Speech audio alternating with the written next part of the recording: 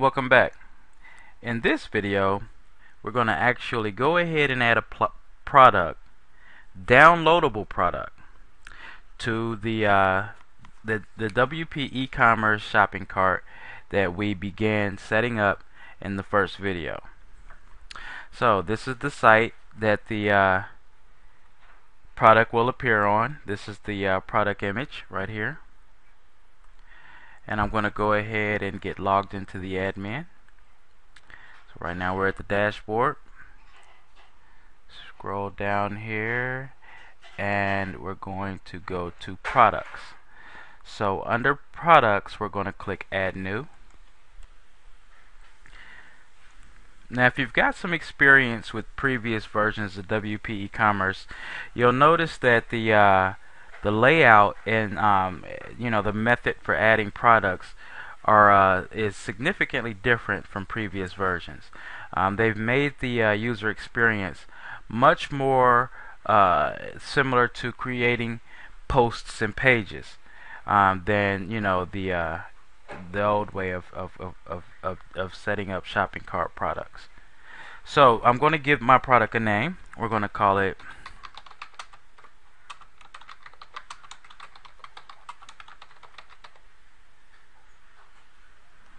okay. And we're going to give it a price.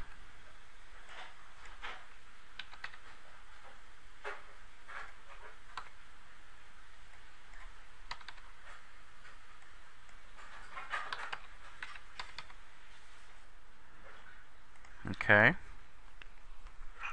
Now if this product was being sold on another site like for example if you're creating an affiliate uh, store like an Amazon aStore or something like that you can still use your shopping cart.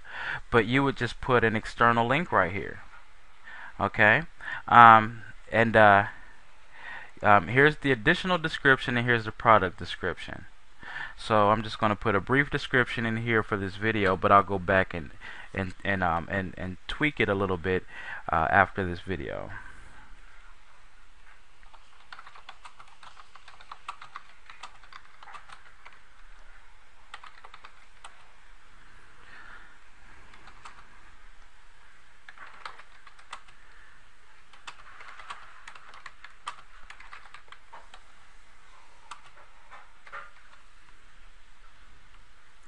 okay.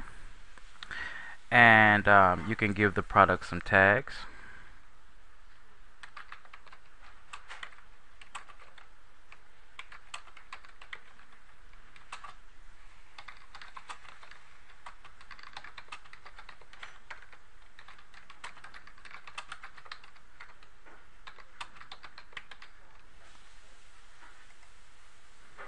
Okay, so now all of those tags are associated with this product. This will be a downloadable product, so we'll go ahead and click the choose file.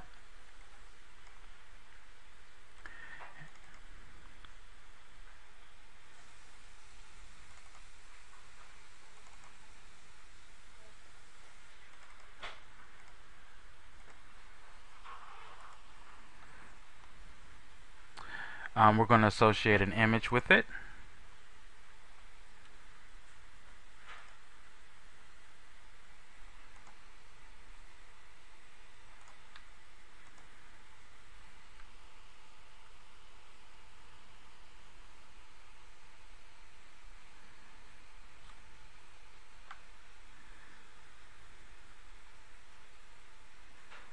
And we'll select use a medium single product.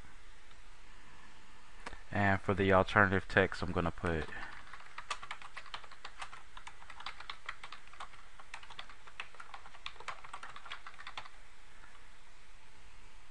and use this product thumbnail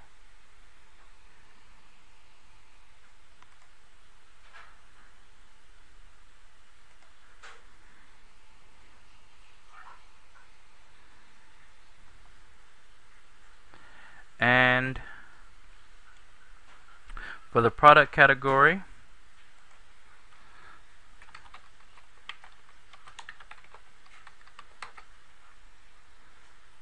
add new product category if there was going to be any shipping associated, we could put a width, a height, etc. And all of that would be used for calculating shipping. Personalization options. Um, you can allow users to personalize this product by leaving a message or um, user can upload an image. So that's great if you're selling like customizable t-shirts and hats or you know something like that. Um, you can put the S the SKU number in.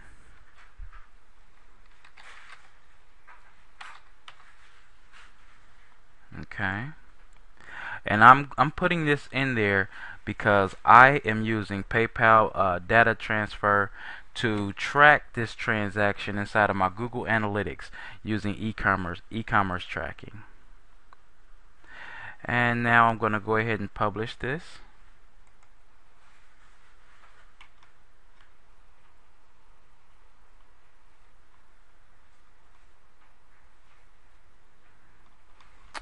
Now, um, so I will come back over here and let's go to the download now button that I've created. And here we are.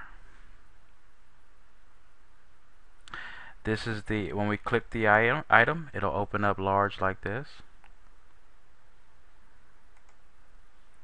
And if we add it to shopping cart, you'll see the shopping cart over here pop up. And now the person can go to the checkout.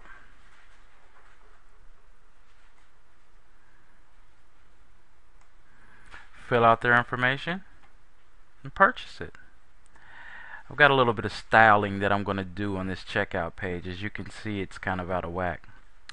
And um, just to show you real quick, um, after you've created your products, um, you can put your shopping cart in several different places. So we'll go ahead and come over here to the store settings. And under presentation, you can set where you would like your your um your your shopping cart um, this part right here this the shopping cart part you can um, you can either add that as a widget um, you can add it on the page itself or you can manually put it into your theme somewhere by copying this little uh, function code right here. Um, I've got it set as a widget. So over here in the sidebar, I've just got it right here.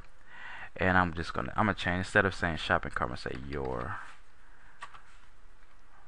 cart.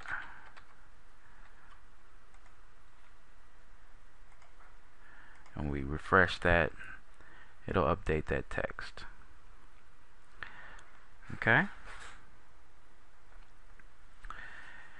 Thank you for watching this brief little video. I will show more about WP e-commerce in future videos